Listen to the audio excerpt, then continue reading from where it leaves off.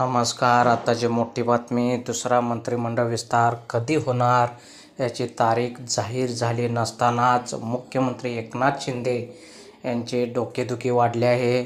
कुणाकुणाला मंत्री बनवायचं हा विषय सोडवताना मुख्यमंत्री शिंदे यांच्या नाकी नऊ येणार आहेत.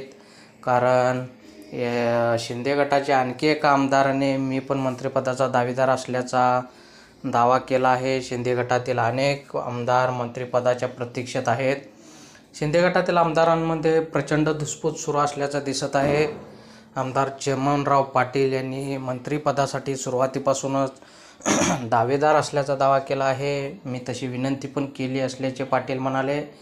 पारोळा मतदारसंघातील चिमनराव पाटील हे शिवसेनेचे ज्येष्ठ आमदार आहेत. एकनाथ शिंदे यांच्या बंड बंडखोरीनंतर ते शिंदे गटात सामील झाले. मागील तीन टर्मपासून चमनराव पाटील हे शिवसेनेचे आमदार म्हणून निवडून येत आहेत. महाविकास आघाडीचे सरकारमध्ये त्यांना मंत्रिपद मिळेल अशी अपेक्षा होती मात्र त्यांच्याबद्दल निराशा पडली. मंत्रिपद न मिळाल्यामुळे चिमनराव पाटील नाराज होते. एकनाथ शिंदे यांच्या बंडखोरीनंतर राज्यात मोठा राजकीय भूकंप झाला. यावेळी सर्वप्रथम आमदार चिमनराव पाटील हे एकनाथ शिंदे यांच्या पाठीशी उभे राहिले. सुरत ते गुवाहाटी आणि गुवाहाटी ते गोवा यानंतर पुन्हा रिटर्न मुंबई या दरम्यान चिमनराव पाटील यांनी सोशल मीडियाच्या माध्यमातून शिंदे गटाच्या बंडखोरीचे समर्थन करणारी भूमिका मांडली. चिमनराव पाटील हे बंडखोरांमध्ये ते सर्वात ज्येष्ठ आमदार होते. यामुळे पहिल्याच मंत्रिमंडळ विस्तारात पाटील पाटीलांना एकनाथ शिंदे त्यांना मंत्रिपदाची संधी देतील अशी अपेक्षा होती. प्रत्यक्षात मात्र राज्याच्या शिंदे सरकारच्या पहिल्या मंत्रिमंडळ विस्तारात त्यांना संधी मिळालेली नाही.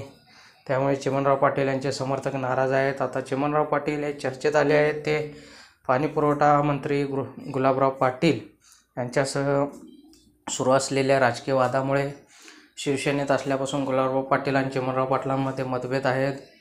गुलाबराव पाटलाकडून होणाऱ्या कुरुगुडीला कंटाळून चिमनराव पाटील ठाकरेंना सोडून शिंदे गटात गेले पण आता शिंदे गटात एकत्र असूनही यांच्यातला वाद मिटलेला नाही. गुलाबराव पाटलांनी राष्ट्रवादीच्या नेत्याला बळ देऊन आपल्याच सहकारी आमदाराला कमी लेखण्याचा प्रयत्न केल्यामुळे हा वाद अजून वाढण्याची चिन्हे दिसत आहेत.